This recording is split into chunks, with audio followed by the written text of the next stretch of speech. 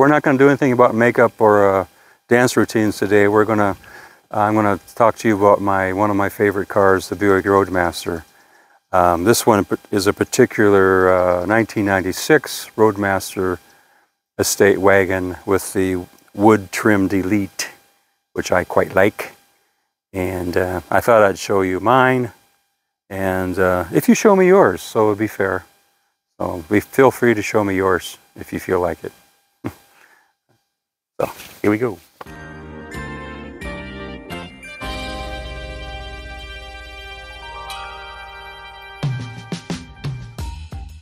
So uh, today we're going to do a long promise video on my 1996 Buick Roadmaster station wagon.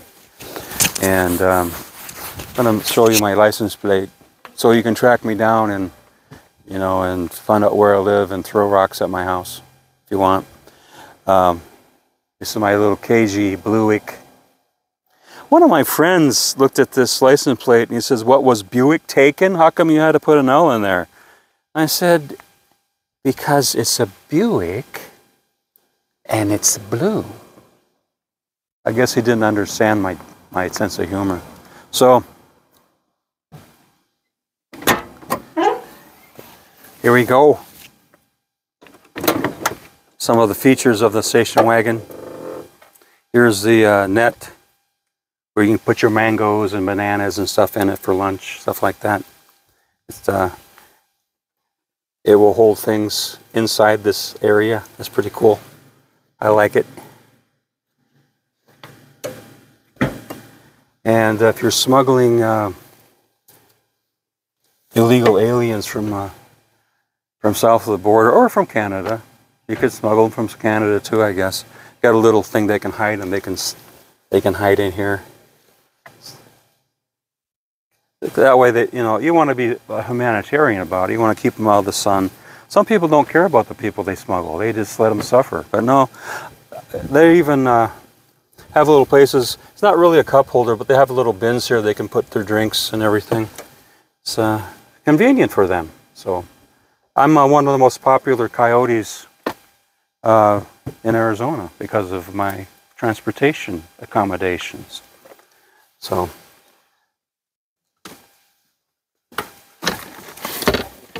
Pardon my butt.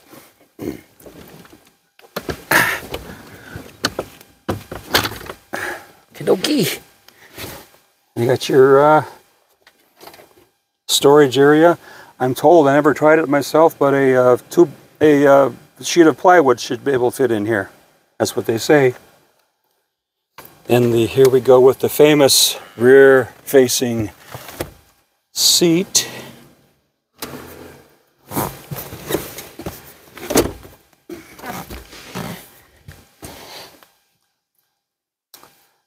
three or four Texans could be pretty chipper back here, I think.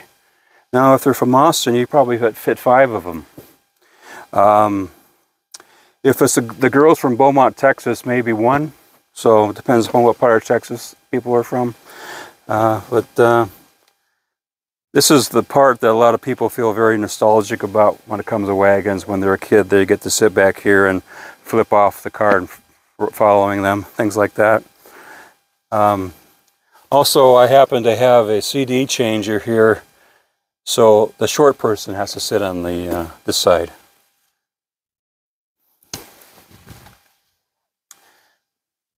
Over here is a uh, storage area, which I keep some emergency equipment, like, uh, well, the jumper cables, a uh, portable compressor, and a bottle jack, a couple of rags, kind of nice to have. And then over on this other side, the opposite side, is where the spare tire and the tools for um, jacking up the car and everything reside. I'm not going to pull that apart, it's kind of pain in the butt. Also, what's really cool about this is this is for the passenger to step in and out. Makes it easier for them to get in and out. So that's kind of a neat thing. I'm gonna put we'll put this seat back down. See under here. The uh, seat is locked in. If you want to pull it back down, you have to. Uh... Ah, there you go.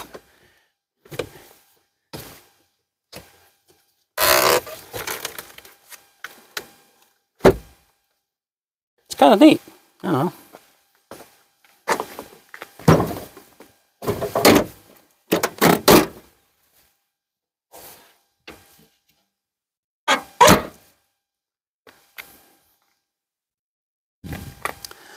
Now, the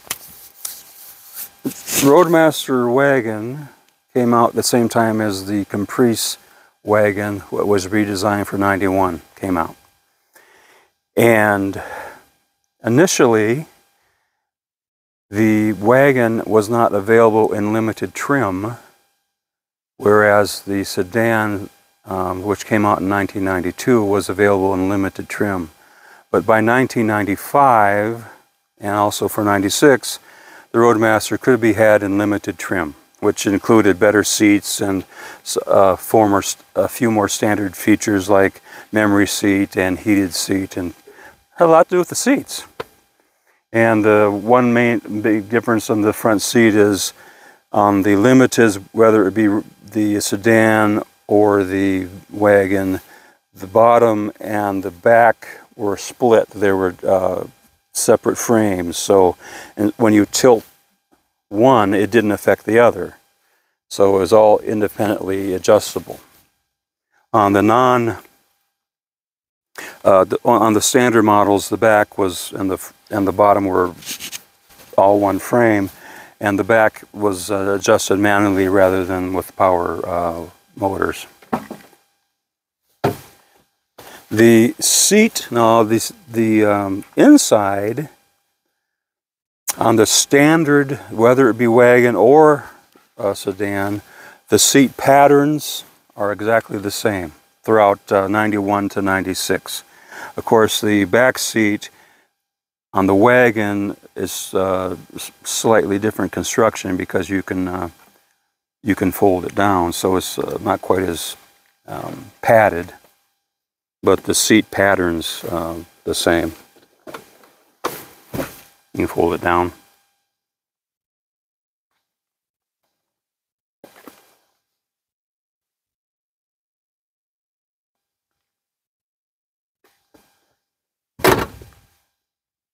More on the interiors. The door panels and the dash are of one design between 91 and 93, the limited sedan of 92 and 90 to 94, the seating pattern is the same, but the door panels and dash has uh, been updated.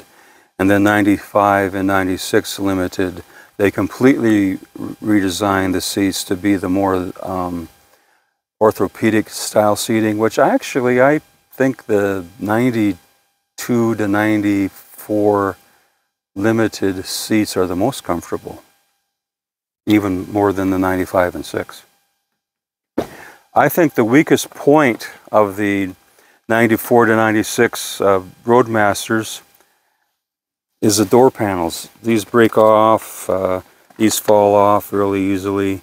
Um, they get uh, cracks and they start rattling and making noise. I, I much prefer the door panels on the 91 to 93 uh, Roadmasters. Also, the dash is better on the 91 to 93 because they have uh, more gauges, uh, oil pressure gauge, and uh, I just think they're a little bit more useful gauge package with them. But uh, That's not quite as big of a deal as the door panels as far as I'm concerned. Another mention, the wagons come standard with aluminum wheels, whereas sedans, that was an option. However,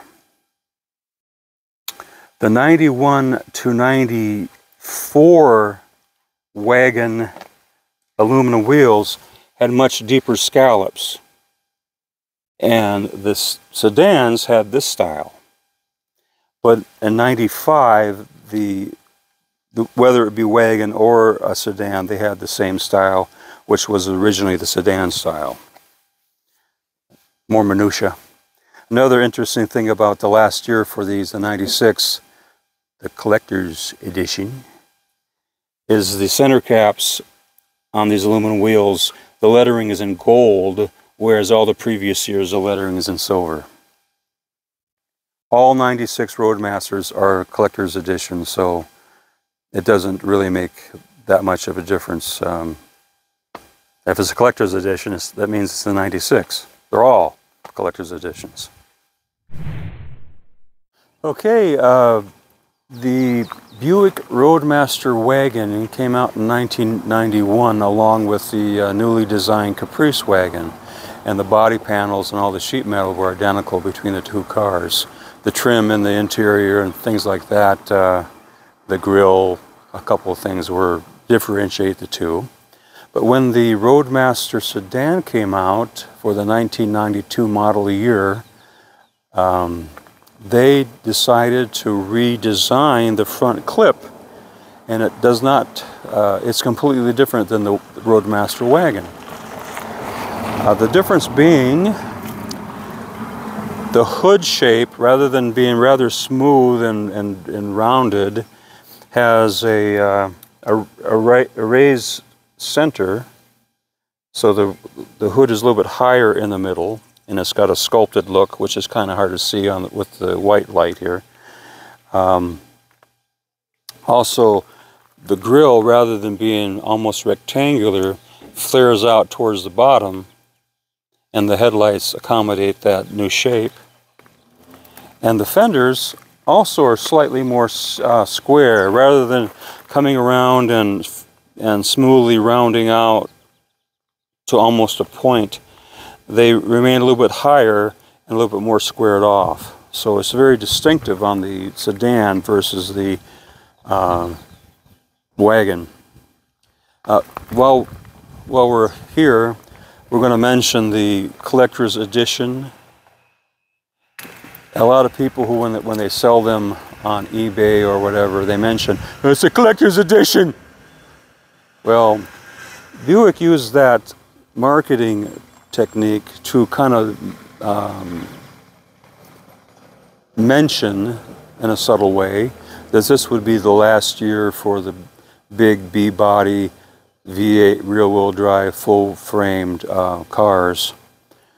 And uh, the Arlington factory in which they were built was switching over to exclusively manufacturing SUVs like the Tahoe and the Suburban.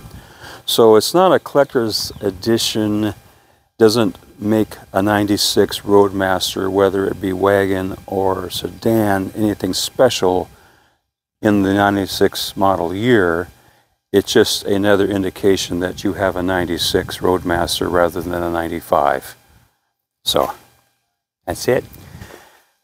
The sheet metal on the Roadmaster wagon is identical to the Caprice wagon. The differences being um, some of the trim and how the trim is on the side. The grill is different, not just because it says Buick, but on the on the Chevy, the uh, the filler panel and bumper is straight across here, and uh, of course the grill is a little bit shorter. So that's a styling difference. That from the front you can tell it's a Buick even if you can't read, you can tell it's a Buick due to the, uh, the dip here in the bumper. You may have noticed that this doesn't have any of that fake wood on it. And that's why I bought this car. I think it looks so much better without that fake wood. Of course, uh, some people like the um, the fake wood because it, it's more of a nostalgic thing for them. Uh, most wagons had it, no matter what the manufacturer was, uh, Mopar, Ford, or GM. most wagons had some sort of fake wood on it. The condition of the of this car was, I think, uh, under 94,000 miles. Um, pretty decent. I mean, it's got a few scratches on it. Uh, the worst being this deep one here, which you can see from a mile away. Um, I think this uh, previous owner probably used it for uh, car camping and probably scratched it going in and out a few places, but that's just my guess. Another feature about these, I'll, uh, I'll get on the other side here real quick.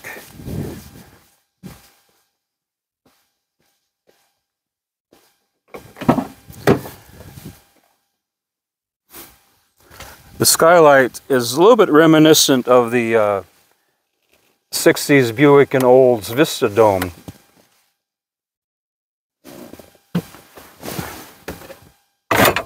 There it is. Uh, it's kind of nice. It's a nice feature. The uh, 64 to 69, I think, Oldsmobile and Oldsmobile um, Cutlass Vista Cruiser and the Buick Skylark Sport Wagon had the Vista Dome, which was uh, had more glass on the side too. But uh, anyway, it's kind of cool.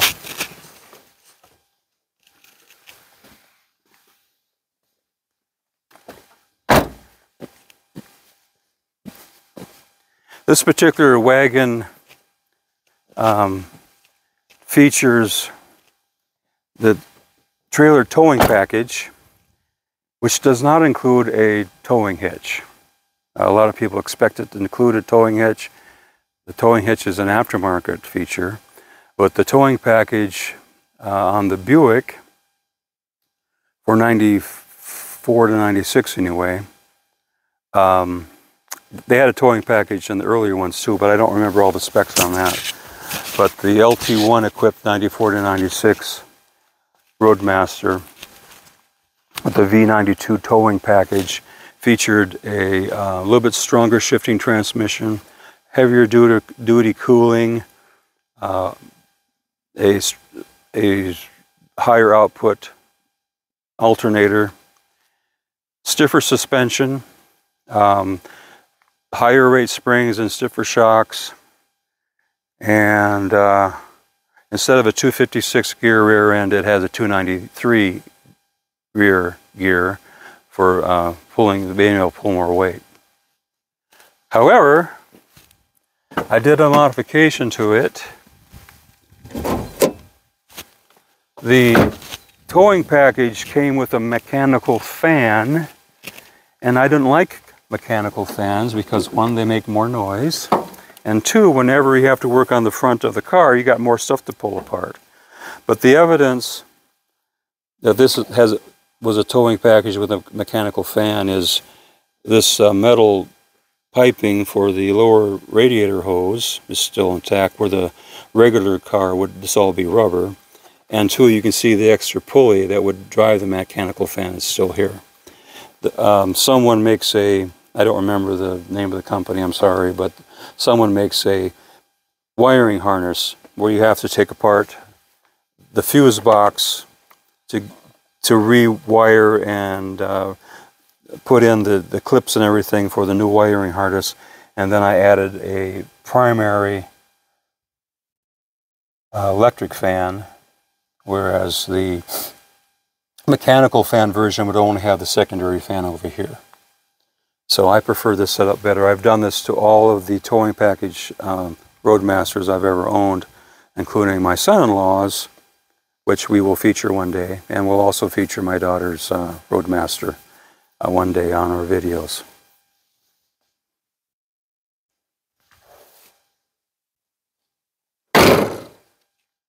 I think of anything else I can mention about the car. Um, oh, I want to mention a little bit more about the interiors. The standard interior, which this has, it doesn't, it's not a limited,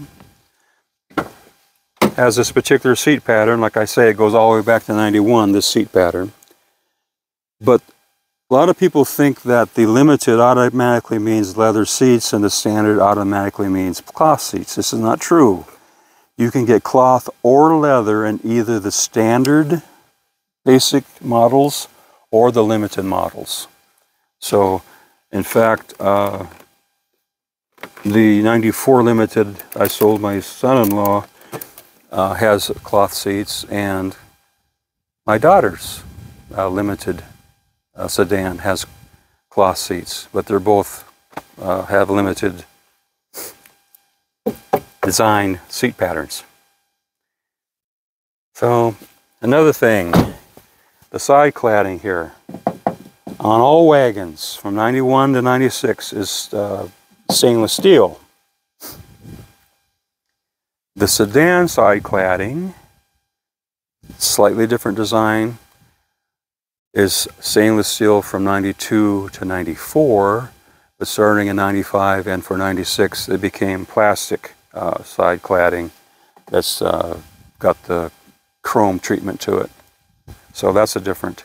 So you can't interchange some of these parts between the sedans and the limited or the uh, wagons and some in some years you cannot change the the side trim so even the clips are different between the three different variations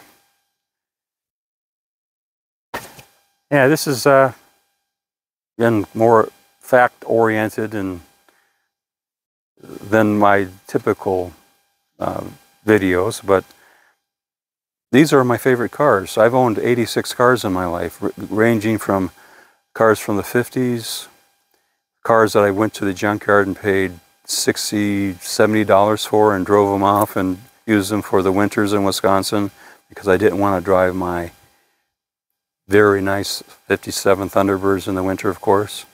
So I've, I've had cars ranging from rust bucket junkers all the way to pretty nice, I would say number two level almost number one in a few cases, uh, uh, cars. So uh, of all the cars I've owned, uh, as far as all around satisfaction have been the Roadmasters and the Fleetwoods with the LT1 engine.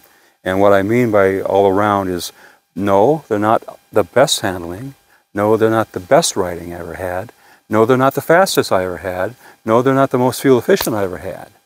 But they're 80% of everything. They do everything at least 80% well or better. So you get you get excellence in every aspect of the car. So um, with all my experience with cars, and of course I've driven a lot of cars from my mother's cars, my father's cars, my stepfather's cars, plus you know 86 cars that I've owned personally. If uh, I could only have one car, it would be a Buick Roadmaster, and to tell you the truth, the sedan would be what I preferred. The second choice would be the, uh, the Cadillac Fleetwood. So, uh, so I have to admit, though, I never owned a foreign car. So, you know. The only one that ever interests me, uh, that's a car that wasn't made in the United States or designed in, from a United States uh, company, would be a 69 to 71 Mercedes 280 SL. I think they're really, really nice cars. So, but I've never driven one, so I don't know um, if I'd like it or not. But I really like how they look. My preference is American car. It doesn't have to be full size. I used to like uh, Skylarks and the more mid-sized cars, Chevelles. Uh, but I've, now that I'm older and fatter, I need more room between me and the steering wheel. And uh, I like the more comfort-oriented cars. Um, I like to have a full frame, rear-wheel drive, and V8. That's what I prefer. Anyway, there's exceptions. I've had cars that weren't that, but that's what I prefer. Any questions? You in the back, any questions? okay. See you later.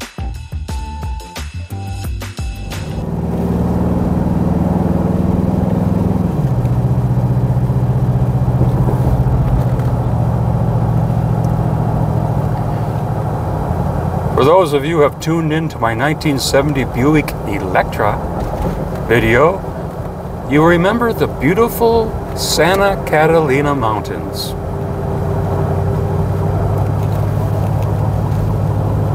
Here in Arizona, they, uh, they post signs about the bridge being wet because of uh, maybe the morning condensation. Of course, the bridge will be more likely to get wet because it's an exposure. Plus, usually bridges are around areas that have water, even though in Tucson, most of the time there is no water. But I find it kind of interesting, being from Wisconsin, that uh, you have to be warned. uh,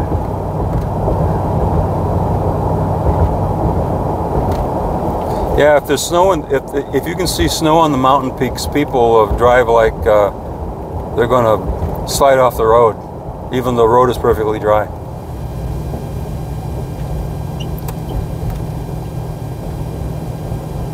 You know, driving these LT1 engines around town, which I have five of them, I guess, I get 15 miles a gallon around town with it. Uh, not bad. Um, on the highway, uh, different ones do better than others. The worst ones get me about 22, and the best ones get me about 27 or 28. So, in fact, one time I got a tank 30 miles a gallon with which is very unusual. That's, that's not typical. 25 is more reasonable what to expect on the highway with these. Of course, I do tend to drive around 80 miles an hour, so I'm sure if we were still uh, in the 55 mile hour laws back when those cars were built, they'd probably get much better gas mileage. But heck, I drive uh, 55 through the school zones, so.